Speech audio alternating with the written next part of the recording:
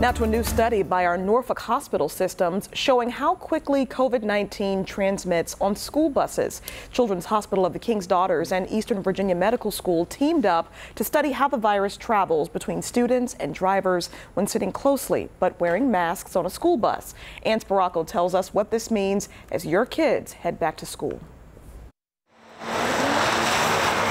Sending your child back to school on a bus can be unnerving following the recent school year division's experience with COVID-19. It's reasonable for parents to have some have concerns and and be worried. But a new study between the Children's Hospital of the King's Daughters and Eastern Virginia Medical School is showing hope when it comes to transmission rates between students and drivers on school buses. The busing system was was truly a problem for some schools in the sense that there's not enough buses or enough bus drivers to double the amount um, in order to space students out as much as needed to need be.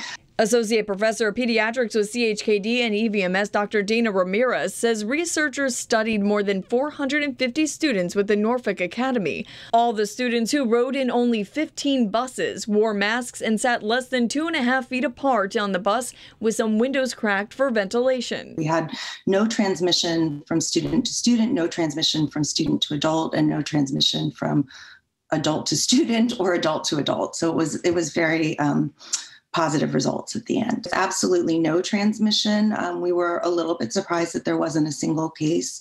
Ramirez says keeping everyone on the bus masked up and cracking the windows for ventilation play a key part in promising low transmission rates when sending your child to school. In Norfolk, Ann Sparacco for 13 News Now. Well, researchers conducted the study from September 2020 until March 2021 during the height of the pandemic. Dr. Ramirez says the research does not include the Delta variant, but they want to look into it for this year. Breaking news out of Portsmouth. We just learned the boy shot last night has died. We were just telling you about this story not five minutes ago, but this confirmation from police coming just seconds ago.